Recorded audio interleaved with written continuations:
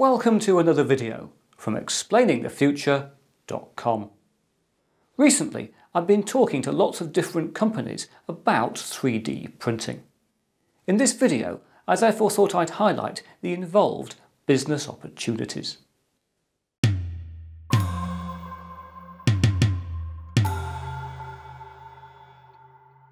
Over the past year, 3D printing has entered the mainstream. In October 2012, Shapeways opened a factory of the future capable of 3D printing over 3 million objects a year. In January 2013, President Obama then highlighted the potential of 3D printing in his State of the Union address, while in February, Nike launched its Vapor Laser Talon with a 3D printed cleat. In July 2013, Microsoft even integrated native 3D printing support into Windows 8.1. During 2013, we've also seen NASA successfully test 3D printed rocket parts and the arrival of 3D printers in many retail outlets. Given that 3D printing is already a multi billion dollar industry, more and more companies are keen to get involved. Aside from 3D printer manufacture, several business opportunities now present themselves and notably include enhancing product design, transforming traditional production, direct digital manufacturing, and facilitating personal fabrication.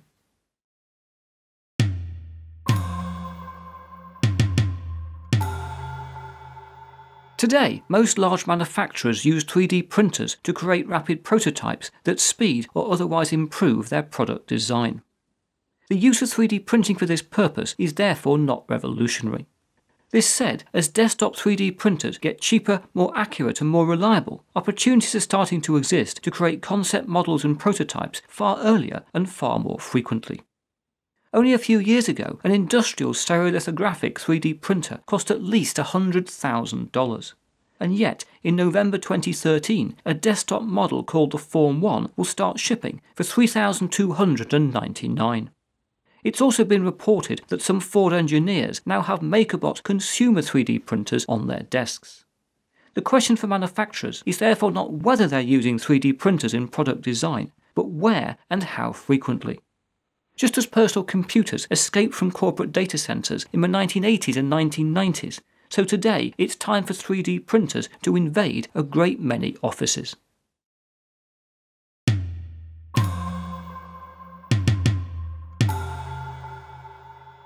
Many traditional manufacturing processes are costly and time consuming to tool up. For example, the production of metal parts using sand casting requires a pattern to be created around which sand is packed. The pattern then needs to be removed from the sand, which often requires the mould to be broken apart and reassembled. Molten metal is then poured in, which cools solid, and the sand is broken away to reveal the final part. Today, 3D printers from pioneers including ExOne and VoxelJet allow for patternless sand casting. Here, layers of casting sand are laid down and selectively sprayed with a foundry grade resin. This allows the direct and rapid creation of sand casting moulds into which molten metal is then poured. By 3D printing sand casting moulds, manufacturers can save a great deal of time and money.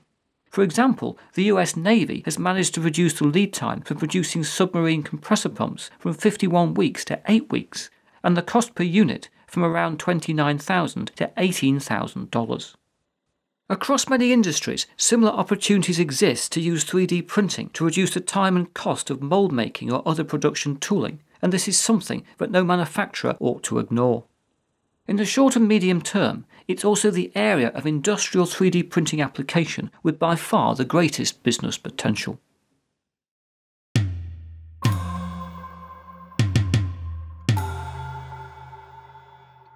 As several pioneers now demonstrate, opportunities already exist to directly 3D print some final products or parts thereof.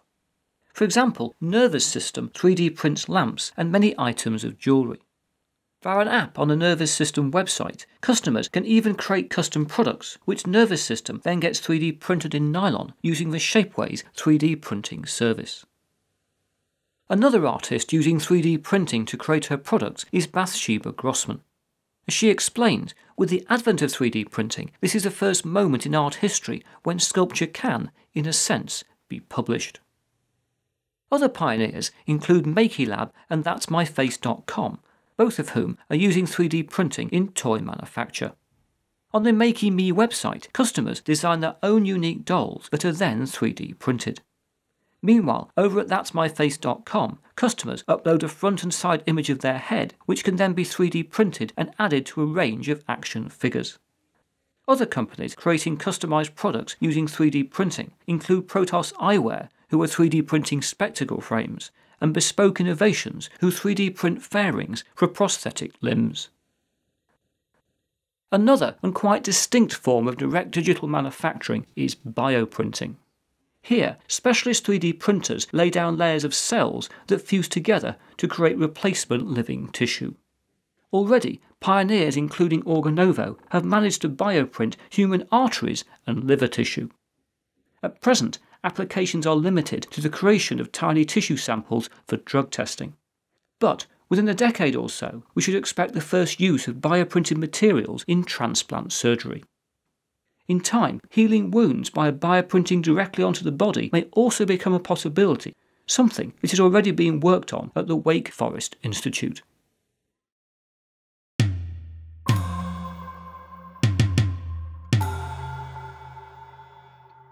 Personal 3D printers can now be built or purchased for a few hundred dollars. As such hardware enters the mainstream, more and more people will be 3D printing things at home, and smart businesses are already starting to recognise this fact.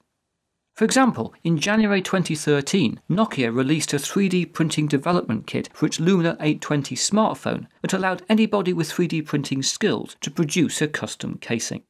And within only a few days, 3D printing enthusiasts were exchanging and showcasing their designs. In addition to helping customers modify, personalize, and repair their products, many organizations could very easily start to offer promotional 3D object downloads.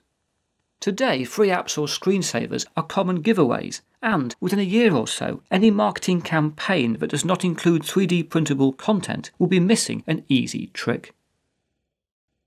In retail, there are also opportunities to start selling both consumer 3D printers and consumables, as well as 3D printing and scanning services.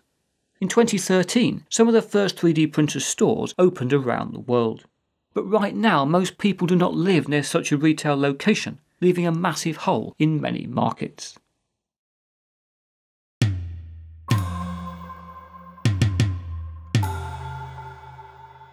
So, what do businesses need to know about 3D printing right now? Well, here are just a few of my own predictions. Firstly, 3D printing will drive a revolution, but it will not replace most traditional manufacturing methods.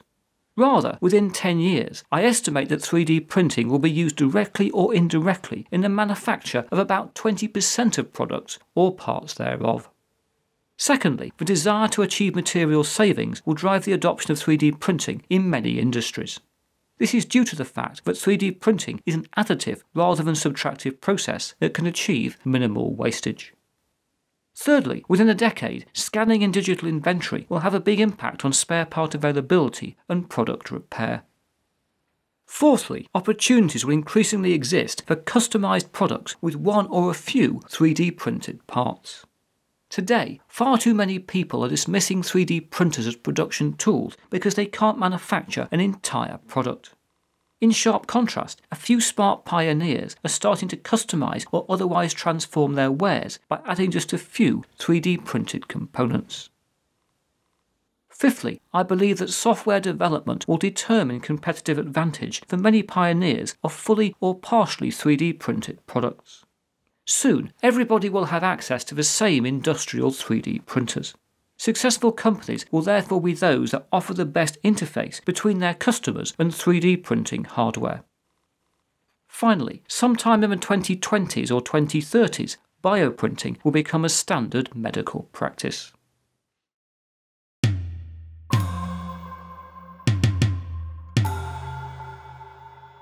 The adoption of most new technologies follows a well understood exponential curve, and for 3D printing, several of these can now be identified. For a start, since the late 1980s, 3D printing has been used for rapid prototyping.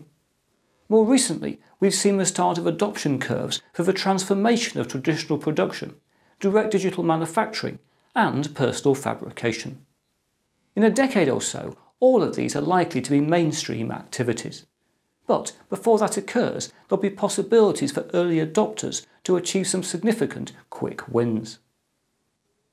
More information on 3D printing can be found in my book, 3D Printing The Next Industrial Revolution, as well as on explainingthefuture.com.